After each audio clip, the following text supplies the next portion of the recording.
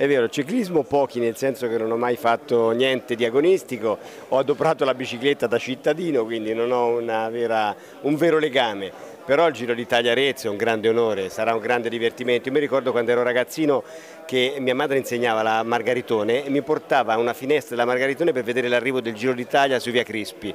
Eh, stavolta si arriva come negli ultimi edizioni che sono passate da Arezzo in Viale Giotto e quindi l'assicurazione è che sarà una bella giornata. Sarà entusiasmante il, il saliscendi anche con gli sterrati in discesa da San Veriano che credo sia una cosa incredibile e poi un arrivo ad Arezzo che si presenterà nel miglior modo possibile. In ogni caso un ottimo spot, eh, una bella cartolina per la città. Assolutamente, io ricordo senza tema di eh, imbarazzo l'arrivo del Giro d'Italia in tappa a Firenze l'anno scorso fu uno spettacolo pazzesco e penso che quest'anno Arezzo possa fare altrettanto, è un grande veicolo per promuovere l'immagine della città, perlomeno in Italia. Sarà la maglia rosa anche lei?